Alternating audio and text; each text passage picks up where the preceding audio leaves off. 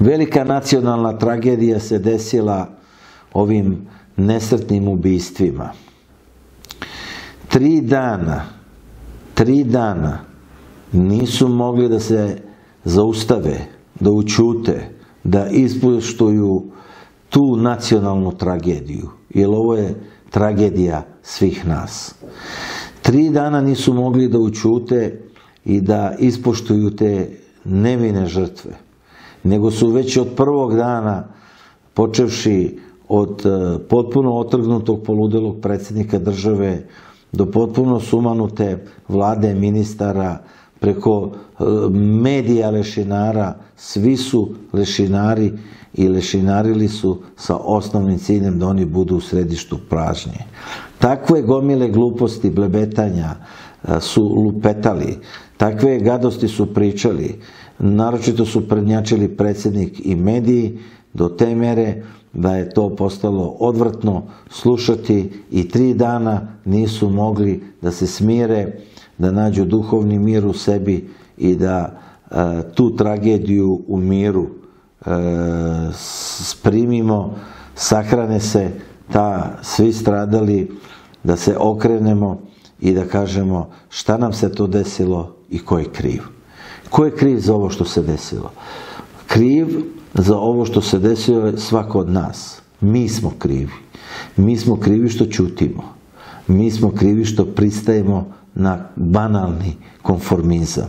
Mi smo krivi što ništa ne preduzimamo. Mi smo krivi što oni politički ološ vlada.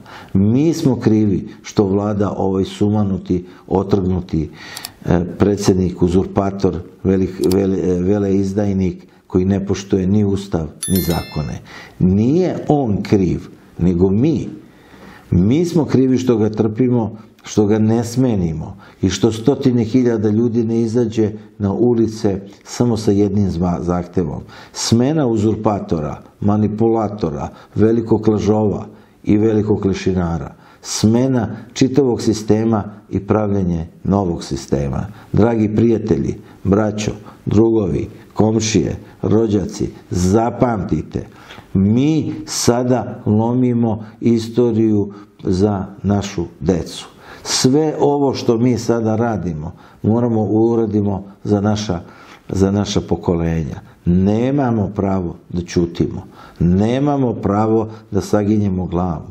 Nemamo pravo da se utopimo u konformizmu e, potrošačke banalne civilizacije. E, ne smemo tu sebičnost da dovedemo do apsurda i da izgubimo državu da izgubimo narod, da izgubimo budućnost. Zato je sada važno da se ovo lešinarenje koje smo tri dana gledali prekine i da se zajedničkom pobunom, izlaskom na ulice, mirnim protestima e, ne dozvolimo da nasilje i nasilnici i oni koji nasiljem vladaju da ostanu na vlasti i da zastrašuju narod da nas gurnu u digitalne koncentracione logore, da nas e, razoružaju, da nas e, izlože napadu naših vekovnih neprijatelja i da na taj način potpuno unište Srbiju. Nemamo pravo tako da se ponašamo prema svim onima koji su hiljadama godina ginuli da bi živjeli na ovom prostoru, da bi opstali na ovom prostoru jer se mi nigde nismo mi se nismo doseljavali, mi smo ovdje od Lepenskog vira i Vinče. Ovo je naš prostor da odbranimo naše pismo, najsavršenije pismo na svetu, da odbranimo najsavršeniji naš srpski jezik na svetu, da odbranimo prvu evropsku civilizaciju i prvu evropsku kulturu. Sve se to sada lomi. Naša deca su izložena najvećem teroru mogućem e, komercijalne civilizacije i mi moramo da ih zaštitimo. Mi smo krivi zato što se sve ovo dogodilo. I zato vas molim da se probudite, da izađete iz, iz, iz manipulacija, ugasite televizore, ugasite sve ono što truje mozak, što truje odnose ljudske i povežimo se i zajedno, jer to je jedini način kroz mobu, kroz bratski odnos, kroz ljubav, kroz poštenje, kroz odricanje, kroz rad, kroz moral, kroz nacionalno dostojanstvo, kroz nacionalni osjećaj, kroz kosmopolitsku ljubav prema svakom čoveku, ali istovremeno i zaštita nas, naše države, naših nacionalnih interesa, urodimo ono što je istorijska obaveza. Moramo da spasimo Srbiju. Ako to sad ne uradimo, onda će se ovo zlo nastaviti. Vlada narodnog spasa za spas Srbije. Jedini način da se spasimo iz tragedije koju su nam nametnuli. Znači može da se postavi kraj svake škole po deset policajaca. Može kraj svake odelenja da se postavi po policajac. Može kraj svakog učenika da stave policajce, ali to neće rešiti problem.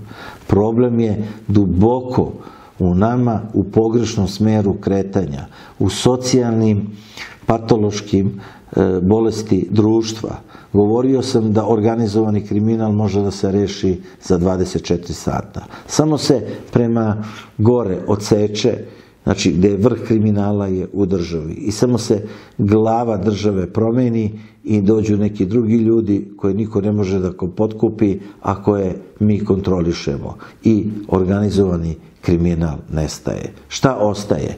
Šta je najveći problem? Šta ne može u 24 sata da se reši? Ne može da se reši socijalni patološki kriminal bolesnog društva.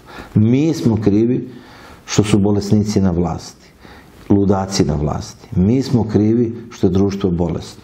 I mi, naročito moja generacija, vas sad pozivam da se isprsite i da u četvrtoj završnoj četvrtini našeg života se oslobodite večnog straha, konformizma, e, plašenja, i da zbog budućnosti našeg pokolenja, naše dece ne dozvolimo više ovo da nam niko uradi. Jedini način da se to spasi je rušenje e, političkog sistema koji pravi kriminal, rušenje totalitarnog sistema koji rađa ludake, rušenje a, otuđenog veleizdajničkog sistema i kulta ličnosti čoveka koji je nesposoban, koji ništa ne zna, koji sve vređa i koja je sramota Srbije. Mi smo krivi što on vlada. Mi smo krivi što je on e, stvorio lešinarenje i što je postao lešinar. Zato vas pozivam da u narednim danima i nedeljama, jer se stvari i događaji ubrzavaju, ostavite sve ono što je potpuno nevažno i usmerimo se na odbranu Srbije, odmah, mi rezervne države i druge kuće nemamo. To je naša obaveza prema predsima i naša obaveza prema potomcima. Moramo da urodimo ono što je do nas, ono što je naša istorijska obaveza i mi to možemo. Znamo i hoćemo i potrebna nam je samo vaša volja, snaga, znanje, udruženi da stvorimo novu Srbiju za nova pokolenja. Hvala.